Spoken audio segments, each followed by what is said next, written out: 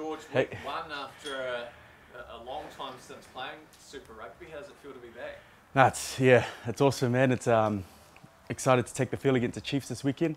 Um, it's been a couple months, 10, 11 months, and um, learned a lot about myself. Um, missed the game, um, but also feeling like I've come back a bit, bit better than what, what I was before, both physically and mentally. So um, ready to get into the season. Yeah. Is this a good gauge as well of, I guess, you know, there's not much sterner test, particularly up front, than the Chiefs? Yeah, yeah, they've always been known for a, a strong set piece scrum and, and line out. So, um, what a way to come back then to you know come back against the Chiefs and um, their mighty scrum and, and line outs as well. So, uh, I'm looking forward to the challenge and um, yeah, it's going to be a good one in the weekend. So, Their forward pack look like they're firing. Mm.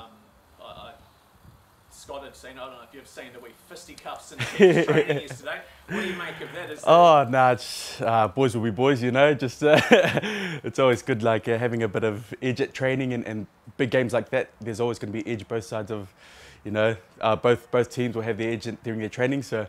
Um, saw that and um, yeah, I definitely know that the Chiefs will be ready for, for us this weekend. So yeah, as a player preparing for a game, like you obviously want to be firing, but I guess how do you draw that line of you know firing, but also hey, you know, let's not knock anyone out. At yeah. Well, lucky for me, I'm I'm I, I'm quite a blue dot. Uh, uh, sorry, I'm, I'm real blue. I, I kind of just try and stay away from that thing and just try and nail my job. And if someone tries to get into my head, I just try and walk away and, and get away from it because I know it'll put me off. So for me, I just have to focus on my job and, and stay away from, from any niggle or anything because I know I'll go off task real easy. So yeah. Physically, George, did you trimmed up? Have you put, what, where have you sort of gone? Um? I'm actually, oh yeah, it's, I have, uh, I stay the same weight, and um, but somehow my skin folds have dropped just a bit, so that's a win for me.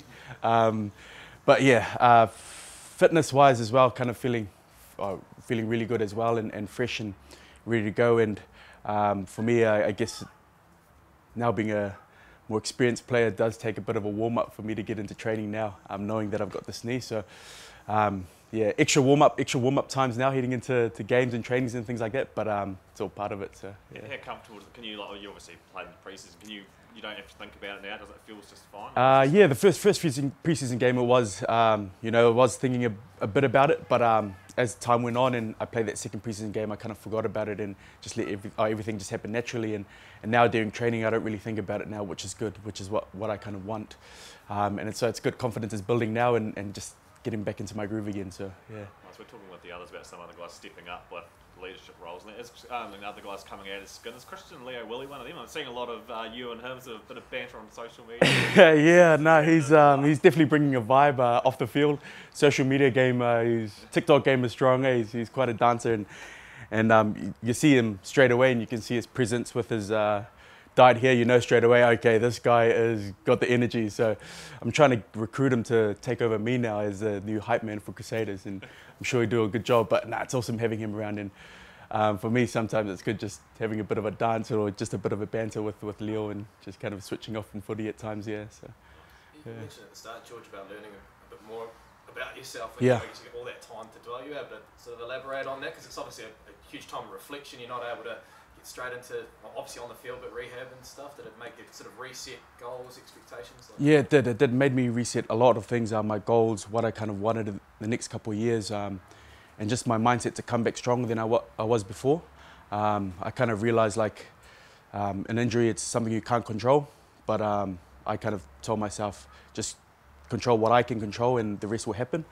And so I focused on my rehab as much as I could, and focused on the things that I, I could, and let the and I guess let the body focus on itself and heal itself. And um, I've come back a bit mentally stronger, a bit mentally um, more resilient, um, and but um, still still the same self though, still the same self. And so um, yeah, feeling feeling confident and good heading into this weekend. And yeah, it's kind of looking back on it now. It's all that hard work has kind of paid off coming into this weekend, and um, so grateful and and honoured to, to don the Crusaders jersey again. Yeah. We've heard a lot this morning the phrase "iron sharpens iron." Yes. Um, five guys, including yourself, and that in the prop stocks who have played for the All Blacks. Like, Oh yes. how how has it been that, like with guys like Owen coming back and, and that sort of competition within the props. Yeah, it's, it's been awesome having Owen there and even like the likes of Moods as well. And um, for me, i have been scrumming against Owie during the preseason and um, I just keep picking his brain and asking him for tips. My first year here, he was, um, you know, he was here as well and he helped me a lot through my first year and, and now my fifth, sixth year, he's still here helping me a lot as well. So um, the iron sharpened iron is huge, especially in our front row and um, we've got probably a good depth in our front row and everyone's capable of playing 80 minutes, everyone's capable of coming off the bench and bringing that experience and um, I think that's the beauty about it and it's healthy competition for us front rowers and um, the good thing with healthy competition is you get better from it and you want to grow and you want to um, beat the guy next to you but in a healthy way so um, it's been awesome over preseason and it's going to be an awesome season of competition between our front rowers so yeah. Do you think you'll still be battling away at 35, 36? Um, I hope so. I hope so. I mean, those boys look after their body well, the moods and the Franks, and um, I'm 31 now, so but I'm young at heart. Age is just a number. So, um, but yeah, hope so. I'm still still belling away 36, 37, maybe even John R. forwards 39, 40. You know, so that's the goal. yeah. So.